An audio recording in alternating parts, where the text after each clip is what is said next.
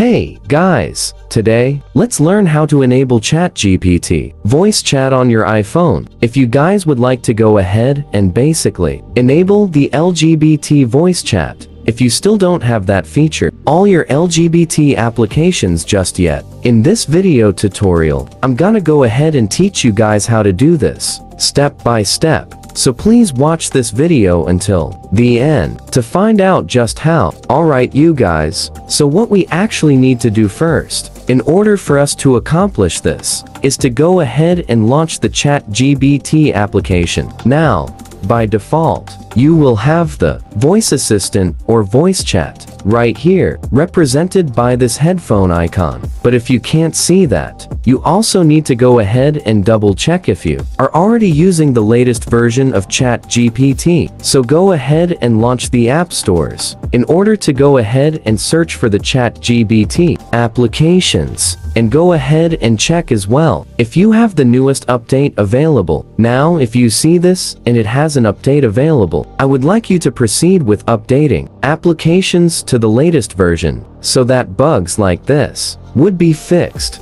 and you were gonna have the best user experience possible. So once that is done, we can also go ahead and also check as well if we are using or actually have this feature enabled on the application. So go ahead and launch ChatGPT. By default as well, it is automatically gonna be turned on. But if it isn't, or you want to go ahead and actually activate this, you could go ahead and try to locate it over on its settings. So tap on your three dots right there, and then we could actually go ahead and make sure that we have already set the specific voice of our voice assistant and also chosen our main language video. Also go ahead and set it to auto detect if you would like to do so, but in this case, I think my main language would be English or auto detect would be my first choice, since I also use other languages as well. Basically, that's all for this video. That's how you guys could enable the voice assistant or voice chat on chat GBT on your iPhone devices. Thank you for watching. Please like this video and subscribe as well if you guys learned something.